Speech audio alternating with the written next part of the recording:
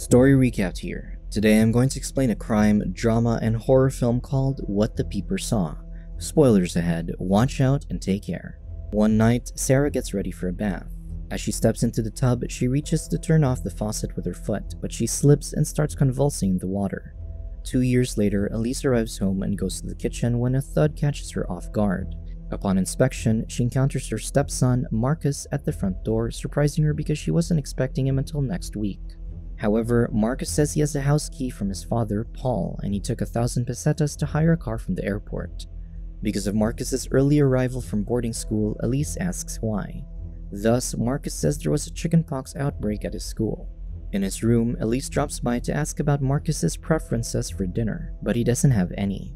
Looking around, she notices Marcus's bookshelf and asks if he reads them. With curiosity, Elise picks up a book about phenology and asks what it is about, so Marcus explains with great eloquence. In the evening, Marcus is busy bathing when Elise knocks, telling him that Paul is on the phone, so he lets her in.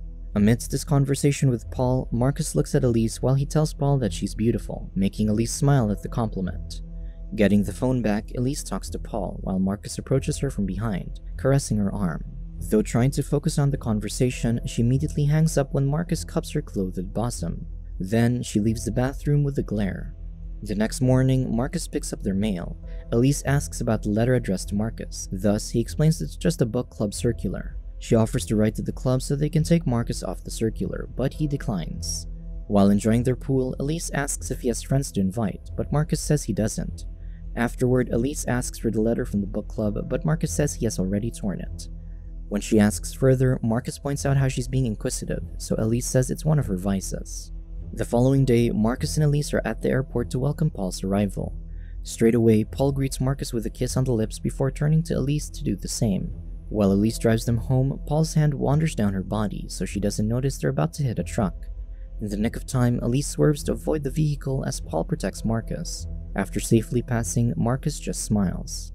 At home, Elise and Paul spend some time in the bathroom, then continue their intimacy in their room. Afterward, Elise sees Marcus playing outside alone, so she asks Paul if Marcus is happy at school and has friends. Paul tells Elise that Marcus is a smart kid, but reminds her that he is just 12, so he needs some love, especially because of Sarah's death. Later, they go to a Chinese restaurant for dinner, an end of term tradition for Marcus. There, Marcus expresses his desire to learn Chinese, and when Elise asks the reason, he says he wants to read Confucius's book in the original, one where Confucius wrote about how to be a superior man. Piling onto Marcus's opinion, Paul points out that it had things in perspective such as the seven basic reasons for divorce disobedience, barrenness, lewdness, jealousy, garrulousness, leprosy, and stealing. Afterward, Paul asks whether Elise borrowed money from his desk, so she says Marcus was the one who did for the airport. Marcus says he borrowed 300, however, Elise argues that he said a thousand before. Paul stops their argument, saying he thought their housekeeper took it, but Elise vouches for their housekeeper's honesty, Later, Elise snoops through Marcus's belongings. When she finds a torn letter in his notebook, she pieces it together. While they spend time in the pool, Marcus tells Paul that Elise doesn't like him because she thinks he stole money. Paul tells him that Elise was mistaken, so Marcus says Elise searched his room. Hearing their conversation, Elise pretends to be asleep by the poolside. Inside the house, Paul asks Elise about searching Marcus's room, but she doesn't give a straight answer. Meanwhile, at the pool, Marcus sees a visage of Sarah's body within the waters, disappearing when Paul calls out to him. Soon, Elise flies to Marcus's school and speaks with the headmaster, Dr. Kessel, saying it must be difficult to deal with the chickenpox outbreak. However, Kessel says there wasn't any outbreak. Afterward, Elise asks about Marcus's leave from school. Although Kessel states that he'd rather speak with Paul, Elise manages to convince him, saying she's saving Paul from the worry. Kessel asks if they read the letter sent by the school. Elise says no, saying she found the letter torn up. Thus, Kessel shows her the letter. There, it details Marcus's reason for expulsion. Elise asks Kessel for further details, so he shows her a notebook of Marcus's inappropriate drawings, saying it started there. Meanwhile, Marcus stands by a tree at the playground, staring at a girl on the swings. At the school, Kessel details the complaints they've gotten about a peeping Tom presumed to be Marcus. Kessel tells her how their groundskeeper had to save Marcus from beating after he was caught spying on a couple. Furthermore, Kessel says he's had conversations with Paul about Marcus's behavior, which they attributed to Sarah's death. On the other hand, Marcus watches a couple kiss from a distance. Then, Kessel tells Elise about how Marcus tortured a cat, hence why they had to kick him out. Continuing along Marcus's day, he watches a butcher cut open a piglet. One night, Paul and Elise attend a party where Paul immediately leaves Elise alone as he greets his colleagues. When an old man goes near Elise and compliments her, she walks away and comes across a room where men display fruit on a woman's bare body, even forcing it on the woman. Walking further, Elise encounters Sophie, the hostess, in the bathroom. Because Sophie's inebriated, Elise helps her light a cigarette. Then, Sophie mentions how the bathroom gives her the creeps because it's where Sarah died. Though Elise pries further, Sophie tells her to ask Paul. On the way home, Elise asks why Paul didn't tell her that it's Sarah's old house. Therefore, Paul explains that he sold it after Sarah's death and was proving to himself that it was over. Still, Elise is mad and asks what happened to Sarah, so Paul explains that Sarah died from a heart attack while bathing. At home, they start arguing about Marcus and the money. Despite Elise's insistence on Marcus's thievery, Paul tells her that he found the money at the back of a drawer, but Elise says Marcus might have put it back. Due to Paul doubting her, Elise brings up how there's no chickenpox and Marcus tore the school's letter. Furthermore, she broaches the drawings and the complaints. However, Paul doesn't believe the school's allegations either, but Elise brings up the cat incident and how Marcus was expelled. Thus, Paul says he'll talk to Marcus yet reprimands Elise for harassing his son. However, Elise rebuts that she wants to help Marcus, but they need to face facts. While in bed, Elise still can't let go of the topic, so Paul explains everything. First, Marcus discovered Sarah's body in the bath before the incident started. Then, Paul destroyed all of Sarah's belongings, telling Elise that Marcus needs time and love. With a kiss, Elise apologizes to Paul. The following day, Elise snoops around the attic. There, she finds a trunk full of Sarah's clothes. Afterward, she goes to Marcus, hoping to hang out with him, but the boy brushes her off until she mentions the attic. When Marcus asks what was there, Elise mentions the trunk, but Marcus says it's not Sarah's because Paul threw all of it away. Pushing further, Elise urges Marcus to talk about Sarah, saying she wants to help him. Thus, Marcus answers questions about his mother, saying Sarah wasn't beautiful but could be attractive to some people. Furthermore, Marcus mentions that Sarah never understood whenever he and Paul were joking. Afterward, Marcus asks about Elise's reaction to Sarah's accident. However, she only knows about the heart attack. When she asks further, Marcus doesn't spill because Paul didn't. Later, Elise visits Sarah's grave with Sophie. Again, Elise mentions that Paul only said it was a heart attack. Back at Sophie's home, she tells Elise the story. During Marcus's birthday, Sarah went for a bath before their family dinner. Apparently, there was an electric heater beside the bath, but the installation perished and the current jumped the pipes through the taps. It electrocuted Sarah, and because of her weak heart, she ended up dying. However, Sophie mentions that nobody knew of her heart condition back then. At home, Paul becomes frustrated because of Elise and Marcus. He feels like a punching bag between Elise's suspicions and Marcus's innuendos. Muttering that he thought he'd finally gotten away from it all, Paul says that Elise starts to sound and look like Sarah. Time flies by and Elise continues to argue with Paul over dinner, much to Marcus's delight. One night, Elise observes Marcus in his sleep while he's shirtless. Meanwhile, Marcus does the same, smiling as he looks at Elise sleeping bare underneath her blanket. One day, Elise is inebriated and asks Marcus whether he loved Sarah, so Marcus says no. When she asks whether Paul loved Sarah, Marcus tells her to ask Paul herself. Getting angry, Elise says she's asking Marcus, so he says Paul's grief was transitory. Due to his answer, Elise tells Marcus that he's hiding behind big words and that he's a freak. Thus, Marcus says that Sarah looked like a dead fish under the water with her mouth wide open. Asking further, Elise asks about Marcus's reaction to Sarah's death, so he says he laughed. Afterward, Elise angrily walks away and approaches Paul while mowing the lawn, reminding him that he's due at the airport in an hour and tries to take the lawnmower. Due to her intoxication, Paul pushes Elise away, telling her to lie down. However, she takes his hand and runs it down her body, so Paul pulls his hand away, making Elise fall.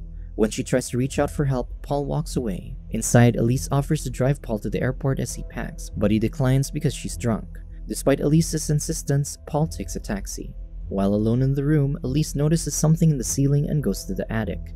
There, she pushes off the trunk and pries the floorboards, only to see a hole in direct view of their bed. Immediately, she confronts Marcus about the hole, so he admits to spying on them. When Elise asks why he does that, Marcus says it turns him on. Probing further, Elise asks whether he spied on Sarah, but Marcus says she wasn't as entertaining because there wasn't any acrobatics. Finally, Elise asks whether Marcus had something to do with Sarah's death. Despite Marcus saying that Sarah died from a heart attack, Elise asks about the electric heater. Wanting to know answers, Elise asks what Marcus wants in exchange for the truth, so he says he wants Elise. Hence, Elise starts unclothing herself in front of Marcus while asking questions. Asking whether Sarah's death was a murder, Marcus keeps saying no until Elise peels down to her underwear, and finally Marcus says yes. Thus, Elise assumes it was Paul, so she asks whether Paul knew about Sarah's heart condition. However, Marcus insistently denies it. But when Elise is fully bare, Marcus confesses that he was the one who knew about Sarah's heart condition after seeing a letter from her specialist. Then Elise asks whether Marcus told Paul. However, Marcus says that he was the one who killed his mother. Not believing it, Elise covers herself, saying that Marcus is just a dirty little schoolboy. Still, Marcus insists he did it. When Paul gets home, Elise takes him to the attic to show him the peephole, but it's not there anymore. Because of Elise's insistence that Marcus must have covered it, Paul gets angry, saying she's been accusing Marcus of stealing, searching his room, and then the peephole. Still, Elise says she wouldn't have called Paul for anything. Thus, Paul says he'll talk to Marcus. Afterward, Elise immediately asks how it goes, but Marcus denies the whole. Not knowing what to do anymore, Paul says that Marcus should see a psychiatrist. Happily, Elise hugs Marcus, saying it's the only way they could start over again. Soon, Paul goes to see Dr. Bjorn, a psychiatrist. Marcus says psychiatrists bore him, so Elise asks if he already told the psychiatrist about his mother. Marcus explains that Sarah was drinking coffee when she died, and Paul knew the moment he saw it. Doubting it, Elise says Sarah died from a heart attack, so Marcus insists that he organized the heart attack and he wants Paul to give him credit. At night, Elise is woken up by typing sounds, so she goes down to check it, seeing Paul hard at work.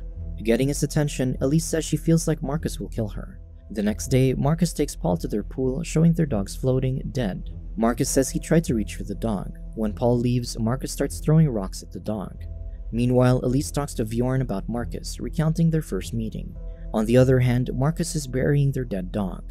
With Bjorn, Elise immediately brings up the stealing incident, saying she remembers clearly despite Marcus denying it. When Bjorn asks what Elise thinks to be Marcus's purpose, Elise says it might be to test who Paul would believe. Bjorn asks whether Marcus admitted to the theft, but Elise says no. Still, she's sure that Marcus stole the money. However, Bjorn points out that the money was found at the back of the drawer. When Elise says that Marcus must have returned it, Bjorn asks whether anyone saw it, but Elise says no. Probing further, Bjorn asks what Elise did about it, so she confesses to snooping around Marcus's room so she can prove the truth. Then, Bjorn asks about Paul and Marcus's relationship. Elise points out that they seem overly affectionate as Paul always touches Marcus. Afterward, Bjorn veers to the topic of the letter Elise found. When she found out that Paul knew about Kessel's report on Marcus's behavior, she felt betrayed. Then, Bjorn asks her about Marcus's lewd drawings, but Elise says she was amazed when she first saw them, saying it was almost beautiful. Then, when Bjorn asks about the cat, Elise immediately says that she felt sick, pointing out that sane people don't go around killing animals, and admits that Marcus frightens her. Elise says Marcus creates difficulties between her and Paul because of his lies. However, she doesn't dislike Marcus and wants to help him. Just then, Bjorn mentions that Marcus talks about his memories of Sarah, mostly childish things. Shocked, Elise points out that Bjorn can't tell when Marcus is lying. Moving on, Bjorn asks about the peephole and calls Marcus a child, making Elise angry, saying that Marcus is as adult as them. Suddenly, Bjorn asks about what Elise did when she saw the peephole, so Elise says she called Paul. However, Bjorn asks about what she did in the meantime, so Elise says nothing. Standing up, Bjorn confronts her about how Elise stripped in front of Marcus. When asked further, Elise explains that she did it to get information because she suspected Paul but Bjorn rebuts, asking whether Elise wanted Marcus to see her body. Insistent on her narrative, she tells Bjorn to ask Marcus the truth. Bjorn asks whether Elise harmed the dog, asking if she can't remember. Hence, Elise just says that Marcus murdered a cat. A nurse goes inside the room, so Elise gets more defensive, saying Marcus killed his mother and how he laughed. Getting admitted to the ward, Elise starts hallucinating about killing Marcus and attempts to suffocate him in his sleep, but Paul stops her. She's restrained at the hospital and the doctors sedate her. Then, in the pool, Elise drowns Marcus while Paul merely lounges. Elise gets admitted to the ward with a nurse pushing her wheelchair. While there, her memories start to mash together, recalling an incident of her sleeping with Marcus while Paul watches with a smile. After her time in the ward, Paul picks up Elise. Walking around the park, Paul tells Elise that he sold the house so they could start again. Then Marcus greets her with his new dog. When Marcus leaves, Elise mentions to Paul that Marcus seems happier. Later, Elise spends time with Marcus, saying he was lonely without her. Marcus asks if Elise tried telling the truth, but nobody believed her. Then, Marcus points out that he and Elise are closer in age than she and Paul. Afterward, Elise asks if he would have killed her, and without hesitation, he says he was planning to do so with her car. With both of them agreeing that Paul bores them, Marcus comes up with an idea asking whether Paul is insured. Finally, the two kiss. Moments later, Elise spots a car incoming and takes the dog's toy from Marcus to throw it to the road. Calling out to his dog, Marcus chases after it and ends up getting hit by the vehicle. Remorseless, Elise just walks away as people crowd Marcus's body. Subscribe to watch more videos like this. Turn on notifications. And leave a like, it really helps the channel out. Thank you for watching.